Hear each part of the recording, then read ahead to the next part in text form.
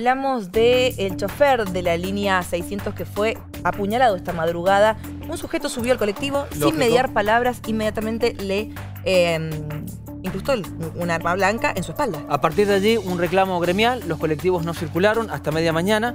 Es este, este chofer del grupo 600 que fue apuñalado eh, en el departamento de Las Heras. Los agresores intentaron agredir a otro colectivero.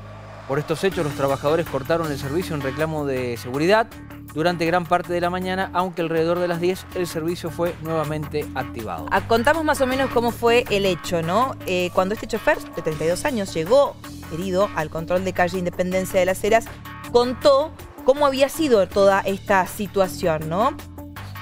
Este hombre este sujeto sube al colectivo, no media palabras, realmente no dice absolutamente nada y apuñaló directamente con un elemento contundente al chofer por la espalda. Luego, el mismo joven se subió a otro micro e intentó hacer lo mismo, pero el chofer se defendió. Tuvimos la posibilidad de dialogar con Diego Irigo, director del Hospital Carrillo, y nos contaba esto, el último parte médico del chofer atacado.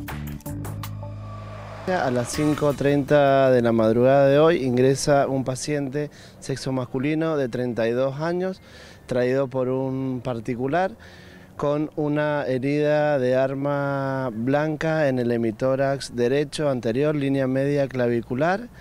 Se lo estabilizó, lo atendió el cirujano de guardia se le hicieron los exámenes de laboratorio y radiográficos correspondientes, se diagnosticó un neumotórax eh, derecho grado 1 y se lo derivó con el servicio de coordinados de emergencia al hospital italiano donde se encuentra internado. ¿Podemos decir que está fuera de peligro? Está fuera de peligro, gracias a Dios, ha sido una lesión penetrante, pero está fuera de peligro.